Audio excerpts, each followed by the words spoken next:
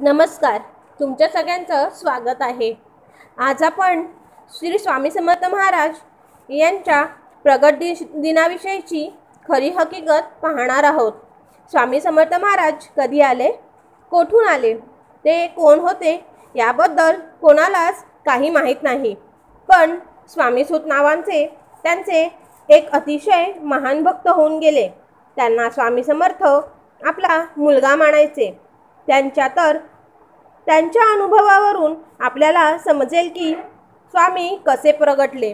तर स्वामींच्या प्रगटण्याची हकीकत अशी आहे की शेकडो वर्षापूर्वी एक पंजाब प्रांतात हस्तिनापूरपासून बारा कोस म्हणजे जवळजवळ चोवीस किलोमीटर अंतर छेलीखेडा नावाचं गाव होता.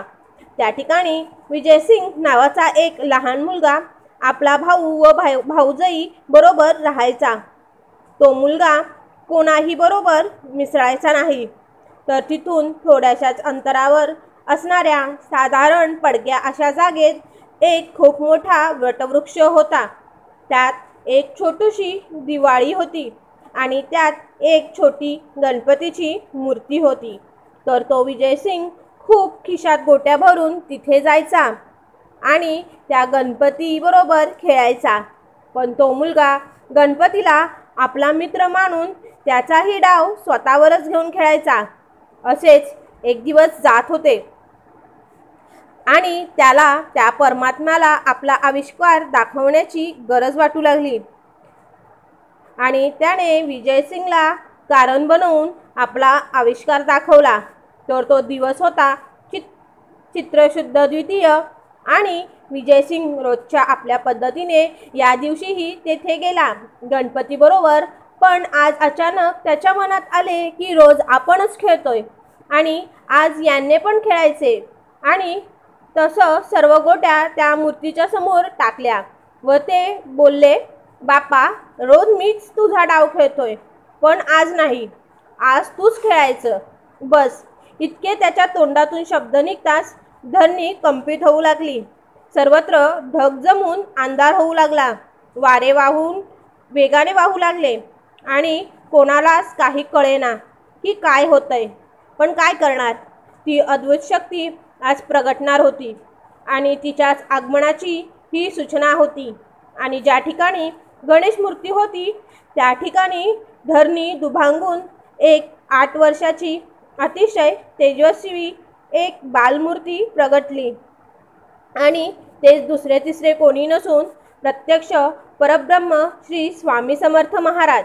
आणि तो विजयसिंग गोट्या खेळतानाही तेव्हा स्वामींकडून हरला आणि बालरूप स्वामींनी त्याला गोट्या उधार दिल्या. आणि परत भेटण्याचे वचन देऊन ते तेथून गुप्त झाले.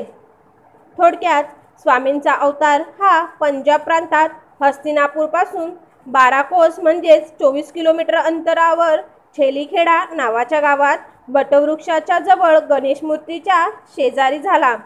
आता शंकाही उपस्थित होतील की ही गोष्ट कशी काय कळली?